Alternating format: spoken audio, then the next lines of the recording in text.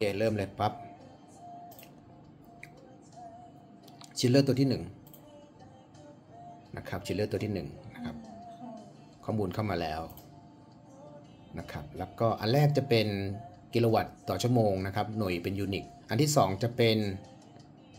อันที่สองจะเป็นนะครับร้อยสี่สิบเอ็ดจุดสองเป็นอะไรนะเครื่องเล่นเป็นกระแสไฟฟ้า 141 แอมป์นะครับเฉลี่ยโอเค ต่อไปอันที่ 3 จะเป็นกิโลวัตต์นะครับ กิโลวัตต์จะอยู่ที่ 81 กิโลวัตต์นะครับ อันที่ 3 จะเป็นของคอนเดนเซอร์อันที่ 3 จะเป็นอุณหภูมิของน้ำเย็นขาออกจากคอนเดนเซอร์นะครับ ขาเข้าคอนเดนเซอร์ 31.7 ขาออกอยู่ที่ 36.1 องศาเซลเซียสนะครับ ต่อมาครับ ต่อมาจะเป็นเป็นน้ำกลับมาจากตัว load นะครับ ก็คือน้ำกลับมาจาก กลับมาเข้าตัว coil chiller coil เย็นนะครับ อยู่ที่ 10.1 องศา แล้วก็น้ำถูกทำความเย็นไปเหลือ 6.4 องศาเซลเซียสนะครับ แล้วก็ถัดมาจะเป็น 70 ตัวนี้จะเป็นหน่วยของเปอร์เซ็นต์ load นะครับ โอเค ถัดมาจะเป็นค่าที่การการใช้พลังงานต่อตันเนาะ ตอนนี้เราจะสังเกตว่า curve สูงสุดขึ้นไป 1 กิโลวัตต์ต่อตัน แล้วบางครั้งก็ตกลงมาเตี้ย บางครั้งก็ขึ้นขึ้นลงลงขึ้นอยู่กับ load ด้วย ตอนนี้เราวัดได้อยู่ที่ 0.82 กิโลวัตต์ต่อตันนะครับ ต่อไปจะเป็นค่าแรงดันไฟฟ้าโดยเฉลี่ยของ chiller ตัวนี้นะครับ อยู่ที่ 405 โวลต์นะครับ หมดยังฮะ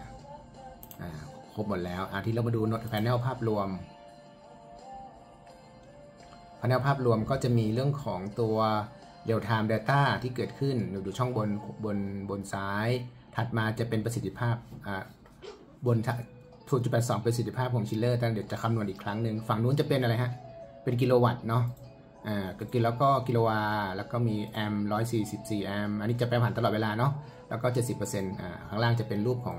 อุณหภูมิของน้ำเย็นเข้าน้ำเย็นออก น้ำคอนเดนเซอร์เข้าน้ำคอนเดนเซอร์ออกข้างล่างจะเป็นกราฟ historicalเนาะอ่ากดเอาใช่ไหมกดดูอ่าอ่ากดดูได้ไหมกดดู ก็จะมีตัวเลขโชว์อ๋อจะดูด้านข้าง โอเคประมาณนี้อะ ฝั่งนี้จะเป็นฝั่งของตัว VNet Platform ซึ่งซึ่งก็แสดงภาพเป็นอ่า Cloud SCADA เนาะเป็น VNet Free SCADA ก็โชว์น้ำเย็นเข้าน้ำเย็นออก จริง ๆ ตัวนี้มี 2 ตัวแต่เราทำทำประสิทธิภาพวัดที่ 1 ตัวก่อนนะครับ อันนี้ chiller มี 2 ตัวนะครับ มีมีพลังงานนะครับตรงนี้เป็นโวลต์นะครับแอมป์กิโลวัตต์เฮิร์ตนะครับต่างๆนะครับ มี chiller เบอร์หนึ่งเบอร์สองมีมีผังการทำงาน มีภาพเคลื่อนเคลื่อนไหวเป็น flow ของน้ำมี cooling ตอนนี้เราเปิด cooling tower เบอร์สองเบอร์เดียว chiller เบอร์หนึ่งนะครับกิโลวัตต์ต่อตันก็ 0.86 นะครับ ซึ่งตรงกับ ซึ่งตรงกับอ่าอ่าเท่ากันละมันมันมันมันมันจะมันจะแลบกันนิดนึงนะครับอันนี้อันนี้อยู่ที่ 0.86 เดี๋ยวสักพักหนึ่งก็จะขึ้นมาที่ 0.86 นะครับก็ ไล่ไล่กันโอเค อันนี้คือภาพรวมของตัวนี้เป็น VNet นะครับ อันทางด้านขวามือจะเป็นเอ่อ Next IoT เนาะอันข้างล่างจะเป็น VNet ข้างบนเป็น Next IoT นะครับ ทั้งคู่นะครับทำงานประสานกันโดยการส่งข้อมูลผ่าน MQTT นะครับ ยิงไปยังตัวเซิร์ฟเวอร์ของ Next IoT เซิร์ฟเวอร์เซิร์ฟเวอร์ของอตัวตัวตัว VNet เนาะจะมี VBox